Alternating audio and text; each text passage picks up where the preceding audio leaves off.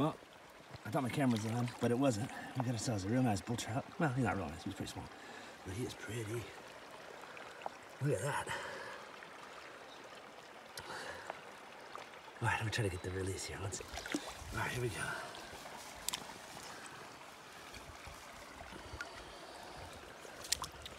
See ya.